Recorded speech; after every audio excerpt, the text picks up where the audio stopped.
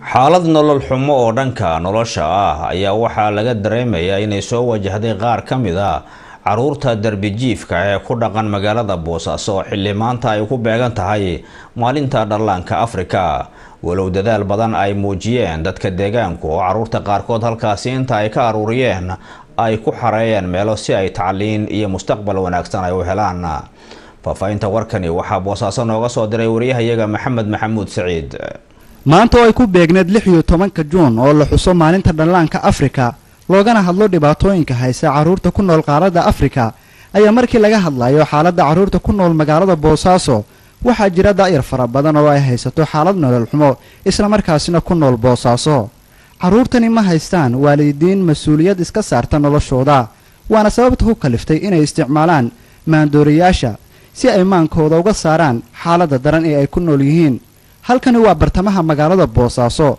Sidaad arkaysaanna waxaa ku sugan da'yar ay ka muuqato xaalad nolol xumo islamarkaasina dhuuqaya koollada maanka doorisa.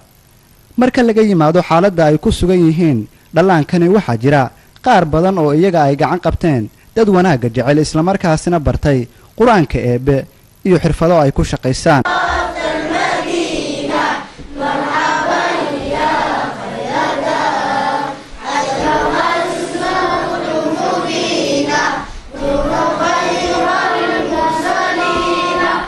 halkani waa kolleej ay ku xaraysan yihiin. Carruur aad u da'yar horeyna uga mid ahaa kuwa xilligani ku dhibaataysan bartamaha magaalada boosaaso. Maxamed jaamac waxa uu ka mid yahay dadkii u istaagay in ay carruurtani gacan qabtaan waxaana uu ka warramayaa xaaladda ay xilligani ku nool yihiin.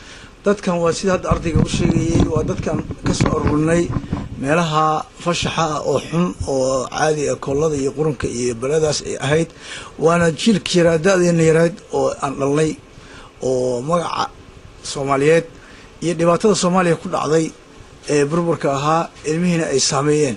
Oo ilmihii uu gurigii ka soo baxayay asagoo gaajisanoo juuc ah dabadeedna imaanayay meelaha garaabada iyo qaadka iyo waqda. Dabadeedna kuwa ka waaweyn oo aad ku aragteen ayana meelaha hadda aanu soo qabanay kuwaas ayaa ayana waxa weeye ciyaalkii fasaadinayay oo barayay kollada oo ahaa meesha hadda annagoo aan macalimiinta u qabanay oo diinta ilaahay iyo kalaamka barnay nimankaasna waxay bari jireen markii waqti cunugu soo gala soo yaro ordayo gaajisan waxay bari jireen kollada iyo waxaa maxamed axmed calas waxa uu ka mid yahay qurbajoogta reer puntland ee ku nool dalka ingiriiska waxaana uu goobta u yimid sidii wax uga ogaan lahaa xaaladda carruurtani waxaana uu baaq u dirayaa sidoo kale jaaliyadda reer puntland ee ku sugan dalalka caalamka.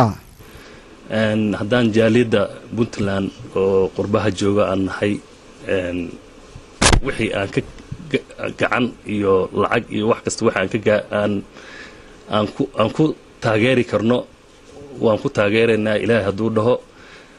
Ninkanne wax fiican buu waxeeyey. Wixii fiicanna in looga daydo aad bay u fiican tahay. Marka maxamed madani t v-ga universal magaalada boosaaso